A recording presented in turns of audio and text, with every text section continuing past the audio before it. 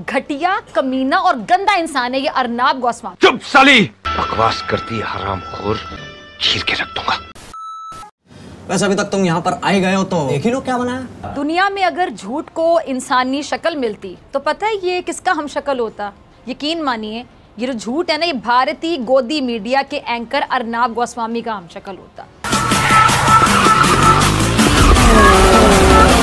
तेरा बाप आया।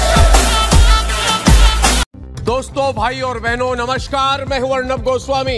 इतना ये बंदा झूठ का मंजन बेचता है झूठ का चूरन बेचता है बल्कि अगर मैं उसका प्रोग्राम चलता है झूठ पर है तो गलत नहीं होगा। इतना बेशरम इस बेशरम को जब जब इसका जो आका है जिसके आगे दुम हिलाता है फिरता है कौन है इसका आगा? इसका आगा नरेंद्र मोदी। ये टिड्डी से बहुत ज़्यादा इनको विटामिन मिल रही है आजकल लगता है मगर ये विटामिन इनके दिमाग में नहीं जा रहा है। हमारी सबकी प्यारी जहरीली नागिन फिजा खान ने एक बार फिर से भारत के खिलाफ जहर उगलाया। मज़ा नहीं आ रहा है। हम करते हैं प्रबंध। आप नागिन नागिन नागिन नागिन नागिन डांस। मज़ा आया। इस बार उसका टारगेट मोदी नहीं है। मोदी तो है लेकिन बहुत कम है। लेकिन मोदी से ज़्यादा उसका टारगेट है अर्नब गोस्वामी, जो कि अखंड राष्ट्रवाद के प्रतीक है हमारे देश के अंदर। और उनके, उनका चैनल उनकी बातों को काफ़ी सीरियसली लिया जाता है। लेकिन ये ये दो टकी औरत अर्नब गोस्वामी को बके जा रही है गालियाँ। खाई है बाखुदा, सुन ले दुश्मन सभी, ये वतन है सदा। पाकिस्तान जिंदाबाद। पाकिस्तान मुर्दाबाद ग्यारह सौ के तीन जोड़े पाकिस्तान मुर्दाबाद ग्यारह सौ के तीन। जो कि हीरा मंडी से अभी अभी भाग के आई है वहाँ से जो अपने आप को डॉक्टर फिजा अकबर खान कहती है। तो इसकी थोड़ी सी पक पक सुनते हैं इंजॉय करते हैं और मैं सच बता रहा हूँ आपको सुनने में काफ़ी आनंद आने वाला है। तो आप इंजॉय कीजिए आपका भाई मिलता है आपको आखिरी के अंदर और फिर वहाँ मिलके करते हैं हम गपशप। जब नरेंद्र मोदी इस अर्नब गोस्वामी को हड्डी डालता है हड्डी का मतलब समझ किसको डाली जाती है? जब इसको हड्डी डाली जाती है तो फिर इसकी तेजियाँ देखने वाली होती ये पाकिस्तान पर चढ़ दौड़ता है बगैर सोचे समझे कि क्या बोल रहा है। ये शख्स इतना ढीठ है इतना ढीठ के प्रोग्राम के अंदर झूठ बकने पर अ, मुझे लफ्ज शायद कहना चाहिए कि इसकी वो कुत्तों वाली होती है लेकिन फिर भी बाज नहीं आता। ये ढिठाई की मेरे ख्याल से पीक है। आपको तो मैं एक घंटे तक पीटूँगा। आपने सबसे पहले घबराना नहीं है।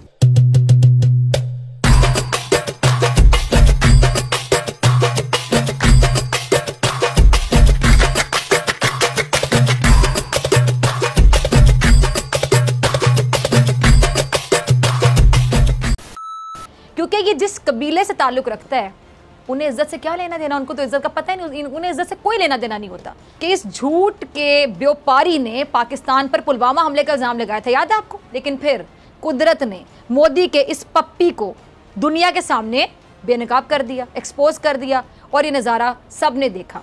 लेकिन ये बेगैरत इंसान फिर भी बाज नहीं बहुत बुरे हैं हम लोग। भोसड़ी के अंदर से खोल के बजा देंगे, तुझे पता भी नहीं चले एंकर है और इसको बड़ी मोहब्बत है जैसे भारत से। इन- इनके फौजियों के हवाले से उनके कत्ल पर खुशी का इजहार कर रहा था। और इससे आप इसकी हुब्बुल वतनी का अंदाज लगा ले। मेरे ख्याल से मुझे कुछ और कहने की ज़रूरत नहीं है। ये सिर्फ़ जहनी बीमार नहीं है। पाकिस्तान में ईमेल नहीं चलती। झूठी बना बना पाकिस्तान में व्हाट्सएप नहीं चलती। कहीं पाकिस्तान में इंटरनेट नहीं है। आपको इतने बे- पाकिस्तान में सिर्फ़ कबूतर और टिड्डी है।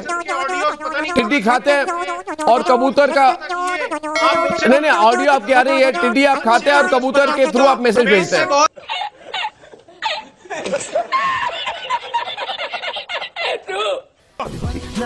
खोटा खोटा बात बन बनना है तो बाप बन छोटे थोड़ा शाप बन चार जन जब करेंगे तेरी बुराई तब समझ जाना कि तू बेटा मचा रहा कातिल आपको याद होगा इसने आर्किटेक्चर के पैसे खा लिए थे और उस बंदे को खुदकुशी करने पर मजबूर कर दिया था। अच्छा। इतना खुदगर्ज लालची घटिया कमीना और गंदा इंसान है ये अरनाब गोस्वामी। चुप साली। बकवास करती है हराम खोर।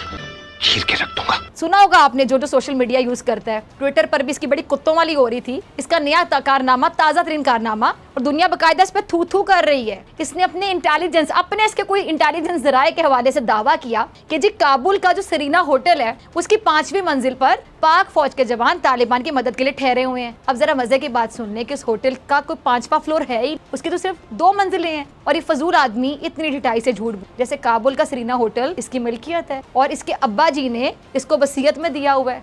बहुत कैंची की तरह चलती है तेरी ज़ुबान। कैंची से ही काट दूँगा। के लिए। अगर मैं गलत नहीं तो शायद उस प्रोग्राम में आप भी थे जिसमें ये जिसमें ये जहनी बीमार शख्स, घटिया शख्स, ये अर्नाब गोस्वामी पता नहीं क्या बताया चला जा रहा था। मुझे याद है उसकी बात सुनने के बाद ट्विटर पे काफ़ी ज़्यादा इस पे तनकीद हो रही थी ब्रिगेड साहब, कि बचपन में अक्सर होता था, बहुत से बच्चे आपको भी स्कूल में मिलते होंगे हमें भी, कि जो ऐसी बातें करते थे, पता नहीं उनका मकसद क्या होता था कि हमारे बाबा के पास तो हवाई जहाज़ है, और हमारे घर में ही वो लैंड होता है, और बहुत से बच्चे तो आके कहते थे, हमें भी हवाई जहाज़ खरीदने हमारे और यहाँ पे लैंड करें हमारे घर में, इतनी जगह हो। ये अर्नाब गोस्वामी टीवी पे बैठ के ऐसी कहानियाँ सुनाता है कि पांचवा फ्लोर है वहाँ पे फौजी ठहरे में वो तो पांचवा फ्लोर तो एग्जिस्ट ही नहीं करता। आप पाकिस्तानियों मेरी बात सुनो। रिश्ते में हम तुम्हारे बाप लगते हैं। रिश्ते में हम तुम्हारे बाप लगते हैं और नाम है हिंदुस्तान। तो अच्छी बात यह है कि तुम लोग बाप से डरे रहो। लेकिन जो बच्चे गौरव आर्या जो बच्चे जो बच्चे अपने बाप के सामने बदमाशी करते हैं वो कान पकड़कर पीटे जाते हैं।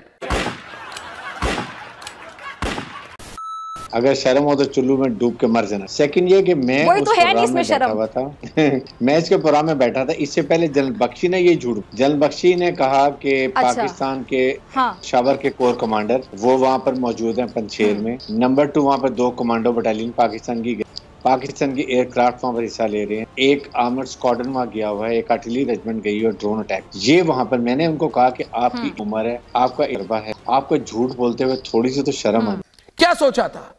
हाँ पाँच सौ रुपए के भाड़े के जितने आपको मिलते हैं, कुछ कर पाएँगे इधर?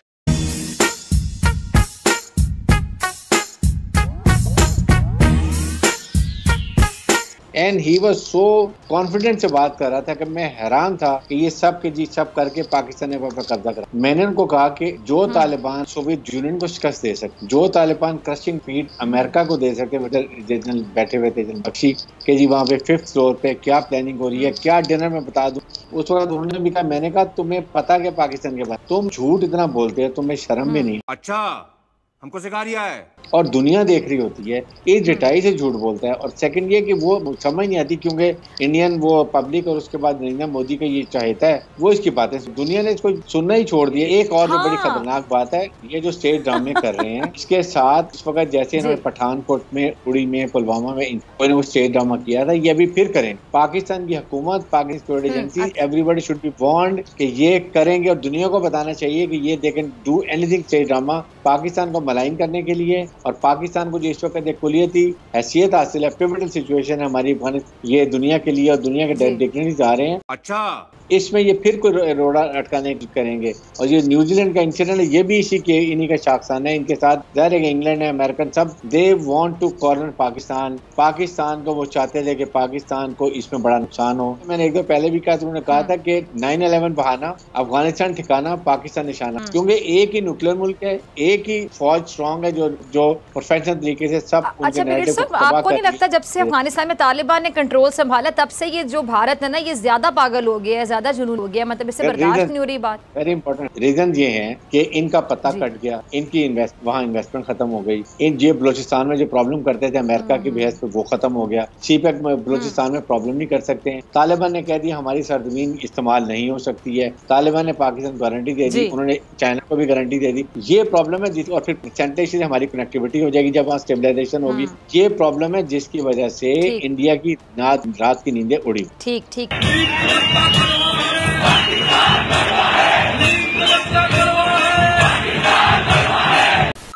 फिजा खान को सुनने के बाद कभी कभी मेरे को ऐसा लगता है जैसे पाकिस्तान में कोई अच्छा खासा मेंटल हॉस्पिटल होगा मेंटल हॉस्पिटल की कोई सिक्योरिटी होगी जिसको तोड़ तुड़ा के ये भाग गई है और पता नहीं किसी की डिग्री चुरा ली होगी, इसने एंकरिंग की या फिर पत्रकारिता की। आके इसको मीडिया के अंदर आके थोड़ा बन ठन के और जो ऐसे पागल आके एंकरिंग करते ना, वैसे करते हैं। किस भाषा का यूज़ कर रही है हमारे हमारे देश के पत्रकारों के लिए, हमारे देश के प्रधानमंत्री के लिए? आरामजादी खुद के अपने तो देख लो तुम्हारा इमरान खान क्या बोलता है, क्या बोलता है? तालिबान हमारा भाई की तरह है। भाई है तुम्हारा तालिबान और न्यूजीलैंड टीम भागती है तो इसमें मोदी और रो की सोजिश है हराम खोरो, आतंकवादियों के साथ खड़े होते हो, उनको सपोर्ट देते हो, हमारे देश के पत्रकारों को गाली देते हो, हमारे प्रधानमंत्री को गाली देते हो और अपने आप को कहते हो कि नहीं, हम साहूकार है, तुम चोर हो। तुमसे बड़ा कोई चोर नहीं है। सालो आतंकवादी हो बाप बाप होता है बेटा बेटा होता है। हाँ? और दोस्तों, आपको कमेंट ज़रूर करना है, क्योंकि आपका कमेंट पाकिस्तान के मुँह पे तमाचा होता है। ज़रूर से एक अच्छा सा कमेंट फिजा के लिए, पाकिस्तान के लिए ज़रूर कीजिए, क्योंकि आपके कमेंट सारे लोग पढ़ते हैं। और शेयर तो करना करना लाजमी है। बिल्कुल लाजमी है शेयर ज़रूर कीजिए, आप जहाँ भी कर सकते हैं, ज़रूर से शेयर कीजिए। और आपका भाई ऐसे वीडियो आपके लिए लाता रहता है। अपना ख्याल रखिए। जय हिंद, वंदे मातरम। जय श्री राम, जय श्री राम, जय श्री राम, जय जय श्री